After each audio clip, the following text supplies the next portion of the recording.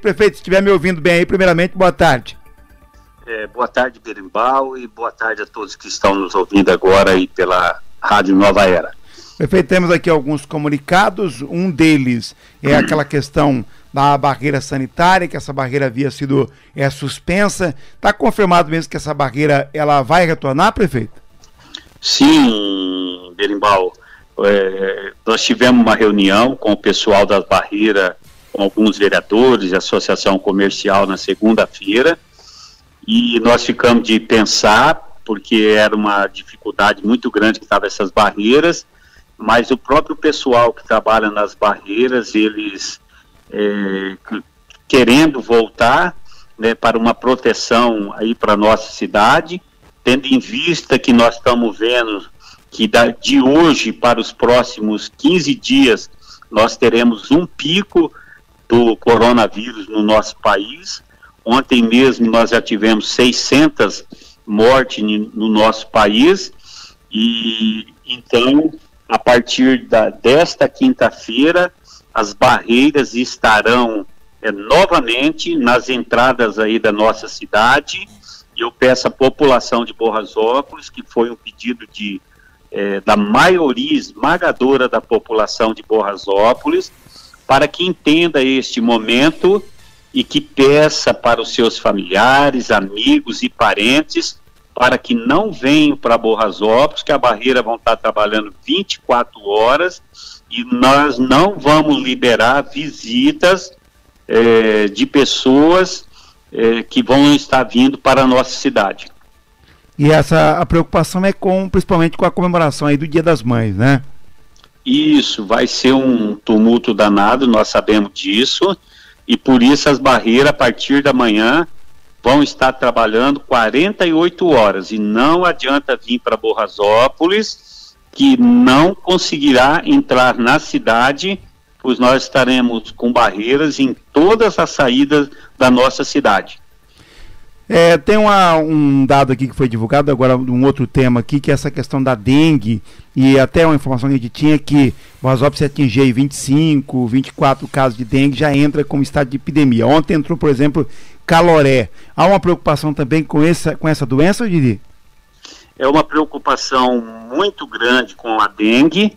Né? Borrasópolis, hoje, nós estamos aí com 23 casos, tem mais 17 casos é, sendo investigados, que nós acreditamos que com mais cinco casos é, nós estaremos já dentro de uma epidemia de dengue aqui na nossa cidade, tendo em vista o trabalho que o pessoal da Secretaria da Saúde vem fazendo, é um trabalho muito é, rigoroso, um trabalho árduo, um trabalho de que eles vêm trabalhando aí, tem dia até duas, três horas da manhã, mas nós aí com mais cinco casos que nós deveremos ter, porque tem 17 casos sendo investigados, Borrasópolis entra dentro de uma epidemia também de dengue. Eu acredito que Borrasópolis vai entrar dentro dessa epidemia também. E são casos né, de números até baixos em comparado com as cidades vizinhas. Faxinal mesmo hoje tem mais de 200 casos de dengue, né? E Caloré também já entrou também em epidemia, um município menor. Então, o pessoal, a nossa população tem que cuidar é, para que esse caso da dengue está muito sério não só na nossa cidade, mas em toda a região. Mori fez uma participação ao vivo com a gente dentro do show da manhã, do show da manhã não, do programa do Marilson Corrêa, falando de recursos que, tá, que está viabilizando para municípios e falou também daquela ajuda aos municípios de 125 bilhões e o qual vai ser a função desses recursos para os municípios, que é para recompor perdas. O município de Boas também vai receber valores ou também terá direito a essa recomposição de perdas, né, Didi? Sim, sim, até eu estou vendo aí nos meios de comunicação, principalmente em Facebook, apesar que eu não tenho Facebook, não tenho Instagram, mas chega até nós é, pessoas sem informação, pessoas que querem tumultuar, pessoas com uma certa ignorância que não vê as notícias no meio de comunicação também, informando para que esses recursos é, para o nosso município, porque também o decreto de calamidade para Borrasópolis, né, mas as pessoas, ao invés de sair falando as coisas, é, deveriam falar com responsabilidade, pois recurso que vem para a prefeitura, principalmente aqui em Borrasópolis, são recursos aplicados naquilo que vem. É, até eu vi uma matéria agora há pouco de um cidadão que fala para Borrasópolis mais de 900 vem quase 900 mil, 800 e pouco, pessoa desinformada que só quer tumultuar, para Borrasópolis vai vir 764 mil reais, isso se o presidente sancionar, porque passou pelo Senado, voltou para a Câmara dos Deputados, agora vai para o, o, nosso presidente, deve ser sancionado. Borrasópolis estará recebendo provavelmente em três ou quatro parcela a recomposição de recursos que faltaram nesses meses que passaram é, sobre o ICMS e sobre o ICSS, o ISS. São recursos é, que eram para vir para a prefeitura, que cai todos os meses na prefeitura, e então deu uma queda na arrecadação, porque o município é, as arrecadações que vêm para o município é através das vendas que tem o nosso país. E como o país, desde janeiro para cá, diminuiu as vendas devido a fechamento de comércio, devido a, a, vendendo muito pouco carro, então cai muito a arrecadação do município, que para o próximo mês agora, se o governo federal, o governo estadual não ajudar os municípios, o município, os municípios, principalmente os menores, igual é Borrasópolis, é, não terá condições nem de fazer a folha de pagamento. Então, é uma recomposição de percas que os municípios tiveram dentro do ICMS e do IS, do ISS. Então, não é recursos que está vindo para o coronavírus. Não é nada disso. Devido à situação do coronavírus ter diminuído as vendas, ter diminuído os recursos, é que ele usa o nome que, devido a essa pandemia, que os recursos tiveram a perda, que esse recurso vem para o nosso município.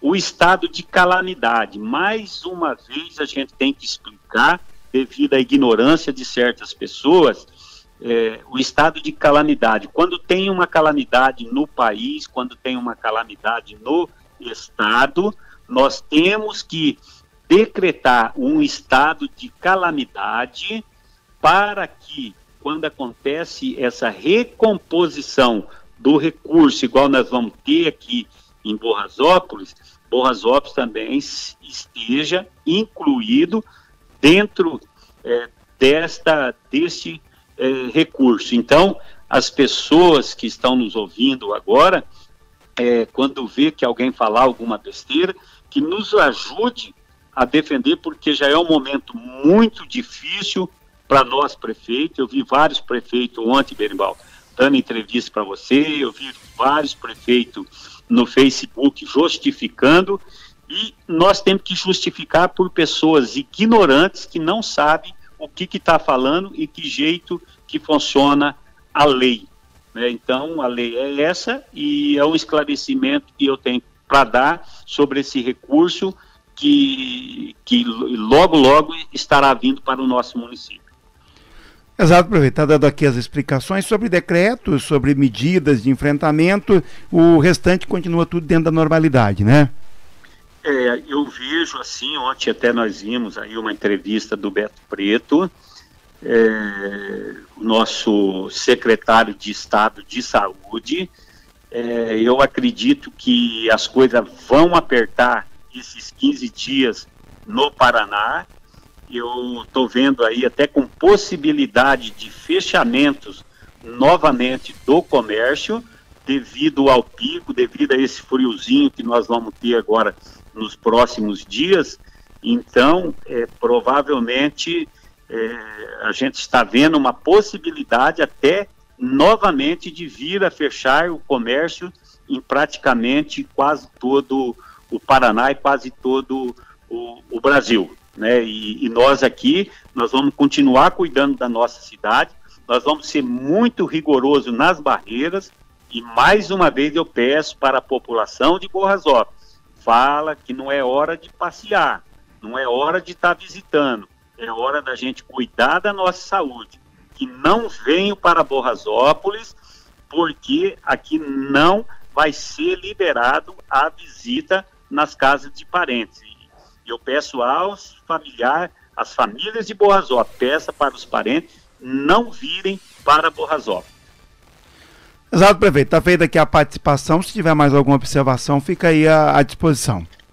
Tem uma outra situação também sobre o Comida Boa, que vai ser destinado é, é, para, as, para as famílias que estão é, cadastradas no cadastro, no cadastro único.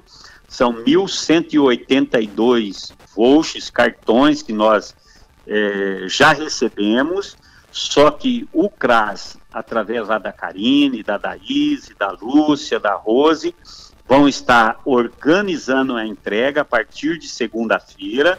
Não precisa o povo é, ficar correndo atrás do CRAS devido a esses cartões. É 150 reais por família, que vai ser dividido em três meses. Esse mês vai ser entregue um cartão de 50 reais para pessoa e nos mercados aqui em Borrasópolis são 10 mercados credenciados até nós vamos ter passando uma matéria para você, Berimbau. A Karine vai estar tá passando uma matéria para você, falando dos mercados, falando da maneira que vai ser entregue é, esses cartão à população. Não precisa correr atrás do CRAS. O CRAS vai estar tá, é, divulgando a maneira que vai ser entregue esse cartão Comida Boa. São três meses de 50 reais. É, o, Estado que vai estar destinando este recurso. Exato. Está feita então aqui a, a, participação. Qualquer comunicado, a gente está aqui à disposição. Tá bom, prefeito?